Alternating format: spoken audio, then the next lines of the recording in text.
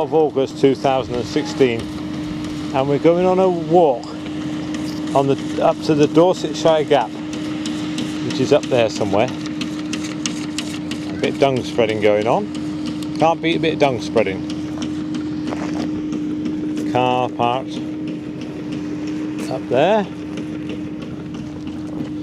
Um, this is the way down from Dr Newton Way and there used to be a sign here? Done the video before and now doing it again. Probably be worse the second time round. So this is our route.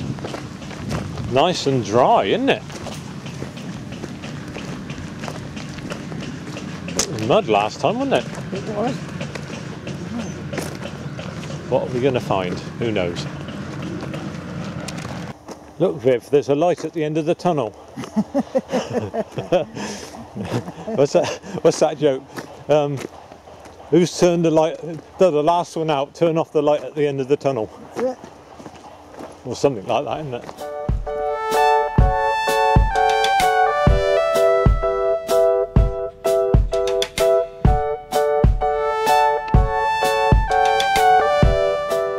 So we're on the Dorsetshire Gap, but we don't. I don't exactly know where I am in relation to home. So I'm going to zoom into those houses over there with the wind in the microphone, making horrible noises.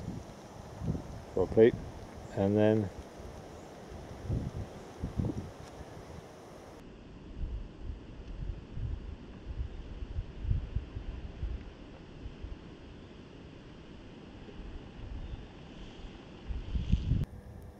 What? It's a toilet. I don't know.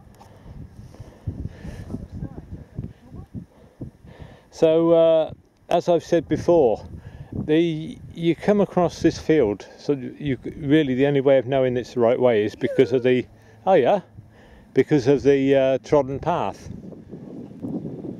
Just a string. Yeah, yeah.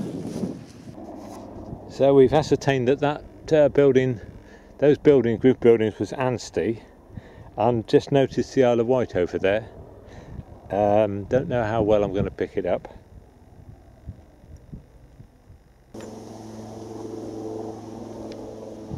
Into the dark wood.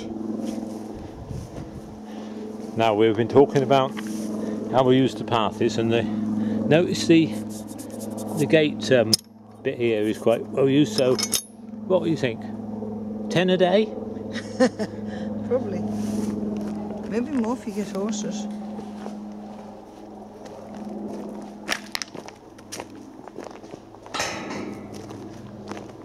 That's shut all right. is it? Yeah.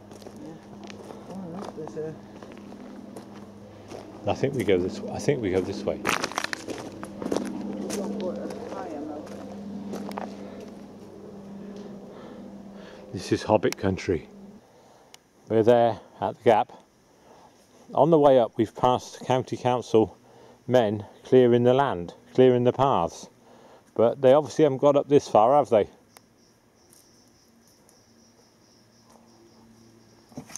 A lot of stinging nettles and things. I've been, I've been trying to work out how what ancient travellers would have been eating. And I wondered whether they might be travelling with, with animals like a milking goat that could just eat grass on the way, and then when you needed a bit of sustenance, you could get a little bit of milk.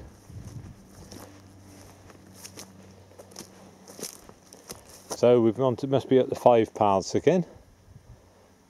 That one doesn't look too badly down, uh, badly uh, overgrown, and that's the one we've come down, and that's the one we haven't come up, and then there's another one there.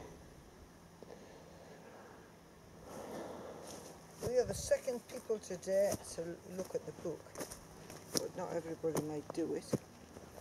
Ah, And there was three groups of people yesterday. Oh, and look, the book has got the Three groups on Monday, uh, thing on it, three on Sunday. Yeah, the plaque. That's new, that. yeah. Look, there's a East Dorset Ramblers. have done it. I think they've got a postcard in there.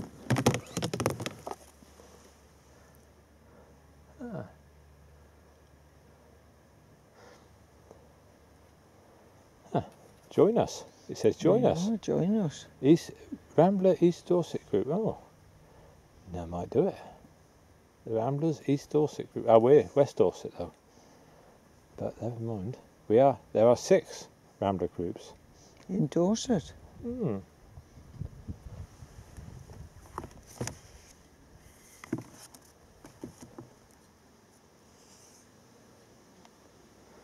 So we've got to see where the old book's in the other box. Yeah. Should, we, should I sign the book? Oh yeah, I've definitely signed the book.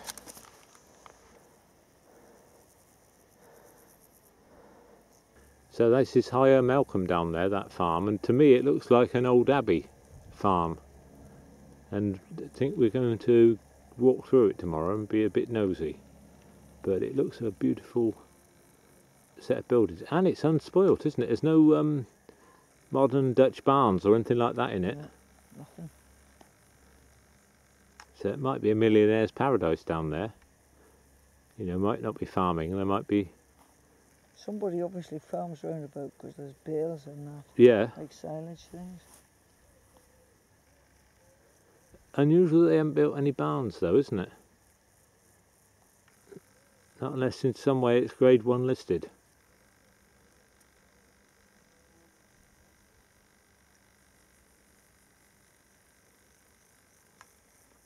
Tis a church, tis a church. There's a church. which is obviously grade one listed. I reckon it all might be. Isn't that amazing scenery? Yeah. Yeah. Oh, hey. Pack horse. That's cheating having a horse. Yes, of course, of course.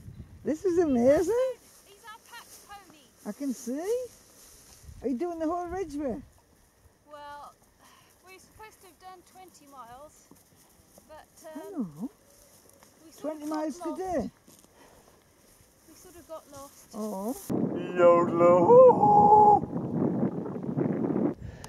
So that's the medieval trackway up to the Dorsetshire Gap round there, and uh, slightly different way back, which is exciting, and lovely grass meadow, nice smooth grass, and just noticed some conifers in this wood, and wondering whether it's for leftover from sort of the 1960s when they conifers were encouraged to be grown, on, especially on uh, hillsides and places.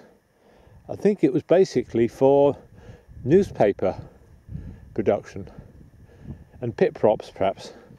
But um, I think now they might be used for chipboard or anything, or biomass or anything. But uh, doesn't look quite right. They won't be there for many, many years, I don't think. Go back to the deciduous trees. Well, we've we've got lost as per as usual, but looks like the path comes up under that tree. Uh, we come across that field. No, never mind. It was a nice, nice walk. Not too badly lost, and a very welcome thing. Gates with openings and um, footpath signs on on it. Ah Got stung. Bramble. Oh, Right, so that's that. That was when you get to this gate. That's that gate shut. And then the blue means the blue means horse, doesn't it? What? Blue. Got the map. Well, if this is where path's taking us, we might as well follow it, shall we? Uh, well, there's no other sign, is there? No. Except going back down. I think. Well, I think on the thing we would go up. So I think Yeah. up. Yeah.